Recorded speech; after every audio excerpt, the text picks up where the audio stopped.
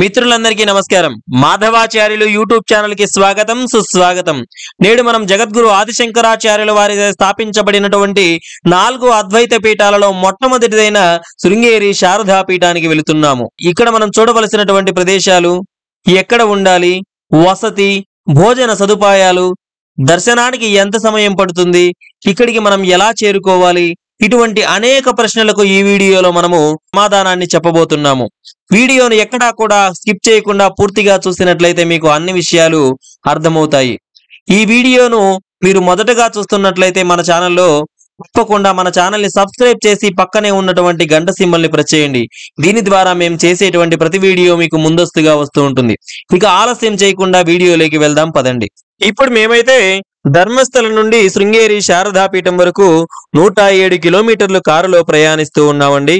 ఈ విధంగా మనము చక్కని ఆహ్లాదకరమైన వాతావరణంలో కొండ కోనల సొగసులు చూస్తూ మనం ప్రయాణిస్తూ ఉంటే మధ్యలో ఇలా అటవీ శాఖ వారైతే మన వాహనాన్ని తనిఖీలు చేసి ఈ ఐడి కార్డు అయితే ఇవ్వడం జరిగింది.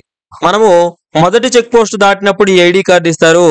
మళ్ళీ ఈ యొక్క అటవీ ప్రాంతం పూర్తిగా బయటకు వచ్చిన తర్వాత ఈ ఐడి కార్డును వారే తీసుకోవడం అయితే జరుగుతూ ఉంటుంది. మనం శృంగేరి శారదా పీఠాన్ని చేరుకోవాలంటే మన రెండు తెలుగు రాష్ట్రాల నుండి బెంగళూరు వరకు బస్సులో వెళ్ళి ఇక్కడ నుండి మనకు చాలా వరకు బస్ సౌకర్యం ఉంటుంది శృంగేరి శారదా పీఠాన్ని చేరుకోవడానికి. మీరు రైల్లో రావాలి అనుకున్నట్లయితే శివమొగ్గ వరకు రైలు మార్గం అయితే ఉంది. అక్కడుండి దాదాపు తొంభై కిలోమీటర్ల పాటు మీరు బస్సు ప్రయాణం చేయవలసి ఉంటుంది. మీరు ఈ రెండు విధాలలో ఏదాన్నైనా ఎంచుకోవచ్చు.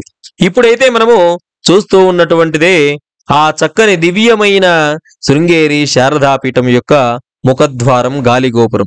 ఎంత చక్కగా ఉందో.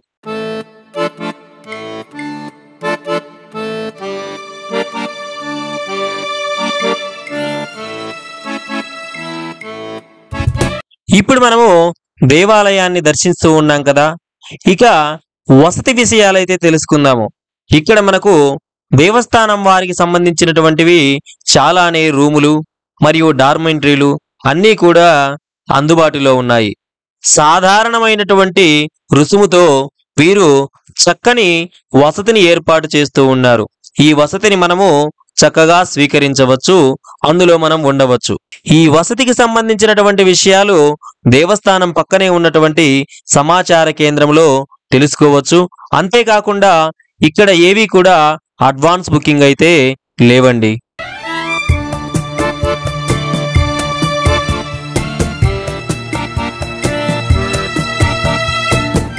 ఇక మేము ఎలా చేశాము ఎలా అక్కడ ఉన్నాము అనే విషయాలు చెబుతున్నాను చూడండి. మేమైతే ధర్మస్థలం నుండి మధ్యాహ్నము ఒంటి గంట ఆ ప్రాంతంలో బయలుదేరి శృంగేరి చేరుకునే వరకు దగ్గర దగ్గరగా నాలుగు గంటల సమయం అయితే అయింది సాయంత్రం. ఈ సమయం అవ్వడం వల్ల మేము డైరెక్ట్గా స్వామివారి దర్శనాన్ని చేసుకుని అమ్మవారి దర్శనాన్ని చేసుకుని ఇక్కడ చూడవలసిన ప్రదేశాలన్నీ కూడా చక్కగా చూసి ఆ తర్వాత ఏడు గంటల ప్రాంతంలో ఇక్కడ నుండి బయలుదేరి వెళ్ళిపోయాము. అందువల్ల మేము శృంగేరిలో ఎటువంటి రూము కూడా తీసుకోలేదు. అందువల్ల మీరు ఇక్కడికి వచ్చినటువంటి సమయాన్ని బట్టి ఇక్కడ మీరు ఉండాలి అనుకునేటువంటి విధానాన్ని బట్టి మీరు రూమ్ తీసుకోవచ్చు. మేమైతే ఇక్కడ స్టే చేయలేదు. కంటిన్యూ చేసి ఇక్కడి నుండి రాత్రి ఏడు గంటలకు బయలుదేరి ఉడిపి క్షేత్రానికైతే వెళ్ళిపోయాము. ఇక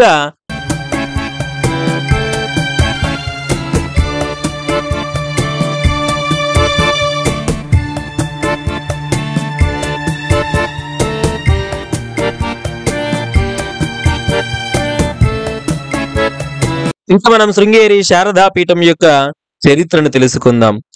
పూర్వకాలంలో ఇప్పుడున్నటువంటి ఈ శృంగేరి పీఠం దగ్గర ఋష్యశృంగ మహర్షి తపస్సు చేసేవారు. అందువలనే ఈ ప్రాంతానికి శృంగేరి అనే పేరు వచ్చింది. ఇక జగద్గురు ఆదిశంకరాచార్యుల వారు ధర్మ సంస్థాపన గావిస్తూ సనాతన ధర్మాన్ని సాంప్రదాయాలను పెంపొందిస్తూ వారు దేశాటన చేస్తూ ఉన్నటువంటి కాలములో ఈ ప్రదేశానికి రాగా ఒక విచిత్రమైనటువంటి సంఘటన వారికి ఇక్కడ కనిపించింది. అదేమిటంటే సహజ వైరత్వాన్ని కలిగినటువంటి అంటే సహజ శత్రువులుగా ఉండేటువంటి కప్ప ప్రసవిస్తూ ఉన్నటువంటి సమయంలో మిట్ట మధ్యాహ్న సమయంలో ఒక నాగుపాము ఆ కప్పకు నీడగా తన పడిగను ఏర్పాటు చేసింది. ఇది చూసినటువంటి జగద్గురు ఆదిశంకరాచార్యుల వారు ఆశ్చర్యచక్తులయ్యారు. ఇదేమిటి? సహజంగా వైరిగా వైరిత్వాన్ని శత్రుత్వాన్ని కలిగినటువంటి ఈ రెండు జంతువులు కూడా ఇంత ప్రేమపూర్వకంగా ఉన్నాయే. ఈ స్థలం యొక్క పవిత్రత చాలా అమోఘమైనటువంటిది. కావున ఇక్కడ నేను శృంగేరి శారదాపీఠాన్ని స్థాపించాలి అని నిశ్చయించుకొని ఇక్కడ శ్రీ శృంగేరి శారదాపీఠాన్ని స్థాపించడం జరిగింది. దక్షిణ భారతదేశంలో శృంగేరిలో స్థాపించిన ఈ పీఠాన్ని భక్షనాంనాయ శారదాపీఠంగా పిలుస్తారు. ఇక జగద్గురు ఆదిశంకరాచార్యుల వారు ఈ పీఠంలో తన ప్రధాన శిష్యుడైన శ్రీ సురేశ్వరాచార్యుల వారిని మొదటి ఆచార్యుడిగా నియమించారు. అప్పటి నుండి ఆ తరువాత వచ్చినటువంటి ఆచార్యులు కూడా ఎంతో గొప్ప కఠోరమైనటువంటి తపస్సు చేయడం వల్ల ఆ జీవితాన్ని గడుపుతూ ఉన్నారు. అది శిష్యులు శ్రీ ఆదిశంకరాచార్యుల వారి యొక్క తేజస్సును ఆరాధించేలాగా చేస్తూ ఉంది. అంతేకాకుండా ఈ యొక్క శృంగేరి శారదాపీఠము ఆధ్యాత్మిక శక్తి కేంద్రంగా ఉంది. శారదాదేవి సన్నిధి మరియు పీఠములోని ఆచార్యుల యొక్క పాండిత్యం కారణంగా శృంగేరిలో సాంప్రదాయక విద్యకు గొప్ప ప్రదేశంగా పేరుగాంచింది. శ్రీ జగద్గురు ఆదిశంకరాచార్యుల వారి భాష్యాలను మరింత వివరించడంలో ఆచార్యులు ఇక్కడ కీలక పాత్ర పోషించారు. పద్నాలుగవ శతాబ్దంలో పన్నెండవ ఆచార్యులైనటువంటి జగద్గురు శ్రీ విద్యారణ్య స్వామి వారి యొక్క దైవిక మార్గదర్శకంతో ప్రసిద్ధమైనటువంటి విజయనగర సామ్రాజ్య స్థాపనతో పీఠానికి రాజరిక పోషణ కూడా ప్రారంభమైనది. నాటి నుండి అనేక విధాలుగా అనేక మంది ఈ యొక్క శృంగేరి శారదా పీఠానికి ఆకర్షితులయ్యారు.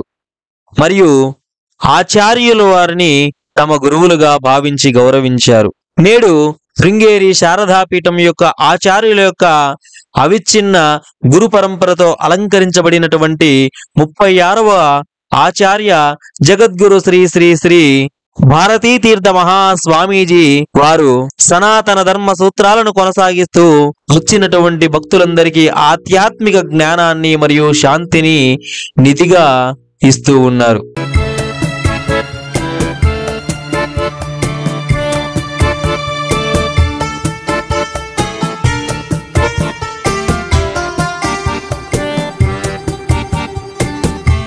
ఇక దేవాలయం యొక్క దర్శనానికి సంబంధించినటువంటి వివరాలను మనం పరిశీలించినట్లయితే సాధారణమైనటువంటి రోజుల్లో ఉదయం ఆరు గంటల నుండి రెండు గంటల వరకు దర్శనం ఉంటుంది. సాయంకాలం నాలుగు గంటల నుండి రాత్రి తొమ్మిది గంటల వరకు కూడా మనం శారదాంబ అమ్మవారిని ఈ శృంగేరి పీఠంలో దర్శించుకోవచ్చు. ఇక మనం గురువులను దర్శించుకోవాలి అంటే ఉదయం పది గంటల ముప్పై నిమిషాల నుండి పదకొండు గంటల ముప్పై నిమిషాల మధ్య కాలములో జగద్గురువుల వారిని మనం దర్శించుకోవచ్చు.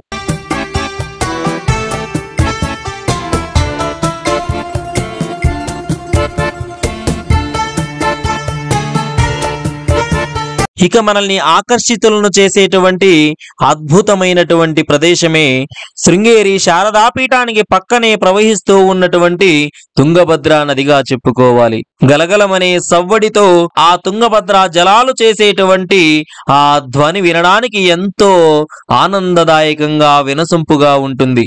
అంతేకాదండి ఈ సమయంలో మీకు కనిపిస్తున్నటువంటి ఆ భాస్కరుడు వెదజల్లే వెలుగులను చూడండి. ఎంతో అద్భుతంగా రమణీయకరమైనటువంటి ఈ దృశ్యాన్ని చూడడానికి రెండు కన్నులు కూడా సరిపోవనే చెప్పుకోవాలి. ఈ అద్భుత మనోహరమైనటువంటి దృశ్యాన్ని వర్ణించడానికి నాకు మాటలు రాలేదనే చెప్పుకోవాలి.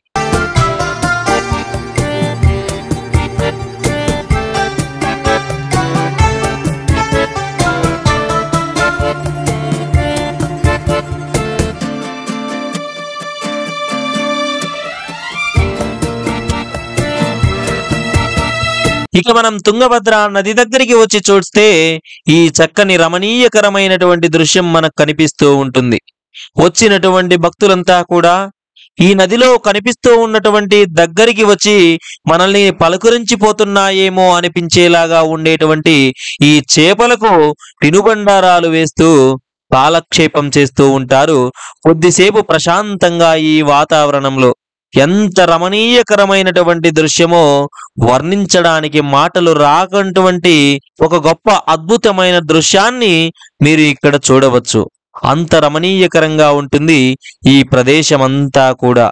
ప్రశాంతతకు నిలయంగా చెప్పుకోవాలి ఈ శృంగేరి శారదా పీఠం ఇక మనం ప్రయాణం విషయము దర్శనానికి సంబంధించిన వివరాలు రూమ్కు సంబంధించినటువంటి వివరాలు చరిత్ర అన్నీ తెలుసుకున్నాం కాబట్టి ఇక మిగిలింది భోజనానికి సంబంధించినటువంటి విషయాలు. ఇక వాటిని కూడా చెబుతాను వినండి. దేవస్థానం వారు చక్కగా ప్రతిరోజు కూడా నిత్యాన్నదానాన్ని ఏర్పాటు చేయడం జరిగింది. ఆ వాటి సమయాలు ఏమిటంటే ప్రతిరోజు మధ్యాహ్నం పన్నెండు గంటల నుండి రెండు గంటల వరకు సాయంకాలం రాత్రి ఏడు గంటల నుండి ఎనిమిది గంటల ముప్పై నిమిషాల వరకు చక్కని భోజన వసతిని కూడా దేవస్థానం వారు ఏర్పాటు చేయడం జరిగింది. మనము బయటికి వచ్చామంటే ఇబ్బంది పడేది కేవలం ఆ భోజన విషయంలోనే. ఎందుకంటే చక్కని భోజనం దొరకక బయట తింటే ఎట్లా ఉంటుందో అది మనకు సరిపోతుందో లేదో మనకు వీలవుతుందో లేదో అనేటువంటి ఎన్నో ఈ అవస్థలకు పడాల్సి వస్తుంది. అవేవి లేకుండా చక్కగా దేవస్థానం వారే ఈ భోజన వసతిని కూడా ఏర్పాటు చేయడం జరిగింది.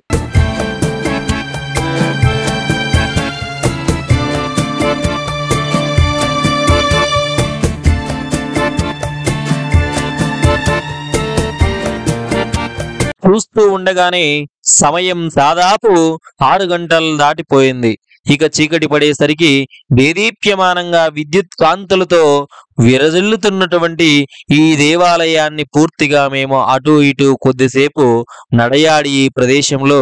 ఆ తర్వాత ఈ ప్రదేశం నుండి అయితే బయలుదేరాము.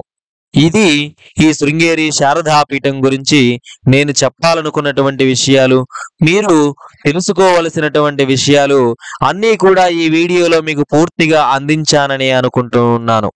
ఇంకా మీరు ఏవైనా విషయాలు తెలుసుకోవాలి అని అనుకున్నట్లయితే కింద కామెంట్ సెక్షన్లో కామెంట్ చేయండి. తప్పకుండా నేను రిప్లై ఇస్తాను. మరుసటి వీడియోలో మీకు మీరు అడిగినటువంటి విషయాలకు సమాధానాన్ని అయితే చెప్తాను. ఈ వీడియో మీకు నచ్చినట్లయితే మన ఛానల్ని సబ్స్క్రైబ్ చేసి పక్కనే ఉన్నటువంటి గంట సింబల్ని ప్రెస్ చేయండి. దీని ద్వారా మేము చేసేటువంటి ప్రతి వీడియో కూడా మీకు ముందస్తుగా వస్తూ ఉంటుంది. మీ సలహాలు సూచనలు క్రింద కామెంట్ సెక్షన్లో తప్పకుండా కామెంట్ చేయండి. ఈ వీడియోను మీ మిత్రులకు బంధుమిత్రాదులకు కూడా షేర్ చేయండి. ఓం నమ శివాయ.